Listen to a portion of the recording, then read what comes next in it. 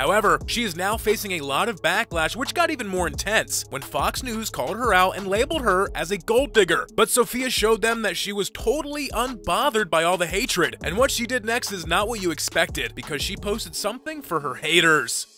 Sofia Franklin has hundreds of thousands of followers on TikTok with a net worth of $500,000. She wants her boyfriend to be on the same level and be wealthy too, and people are calling her out because of that. Wow, she got everyone to be pissed at her. These people aren't looking for a relationship, they are looking for a business contract. The stupidity it takes for someone to admit they're a gold digger on the first date is mentally mind-jabbing. But what's more shocking is that even though she's facing a lot of hatred, she's not defending herself. So people are assuming she's just doing this for clout. In fact, she's out there vibing with all the attention that she is getting, and you won't believe what she did next.